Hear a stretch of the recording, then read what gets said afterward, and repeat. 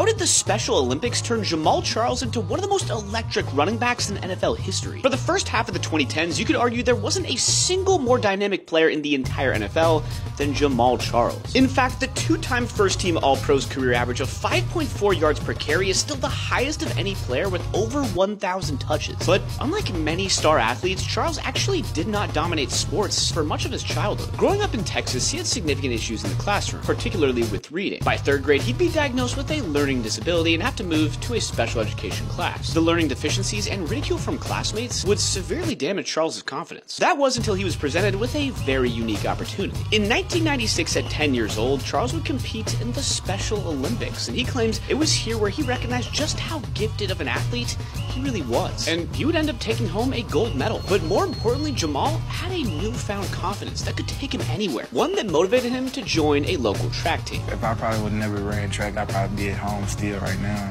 doing nothing, looking for a job. He'd go on to become a two-time state champion in track and four-time All-American at the University of Texas. And of course, he'd also go on to become one of the best running backs in NFL history. In 2015, Charles would be recognized as a global ambassador for the Special Olympics and has dedicated countless time to advocating for both the importance and the power of the games.